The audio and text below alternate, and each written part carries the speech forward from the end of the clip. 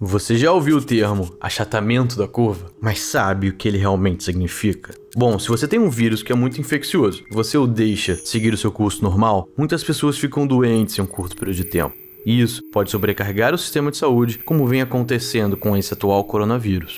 Mas se você adere a medidas como o distanciamento social, então você pode diminuir a velocidade de propagação do vírus. Isso significa que teremos, em algum momento, menos pessoas doentes sobrecarregando o sistema e eventualmente o mesmo número de pessoas acaba se infectando. Mas ao invés disso acontecer em poucos meses, ocorre ao longo de vários meses. Além disso, diminuir a velocidade de propagação do vírus talvez signifique mais tempo para se desenvolver uma vacina ou um tratamento antiviral que poderia beneficiar mais pacientes. Então, achatando a curva, distribuindo a carga de pacientes, essencialmente estamos dando aos trabalhadores da saúde mais tempo. E isso é o que no final das contas salvará mais vidas.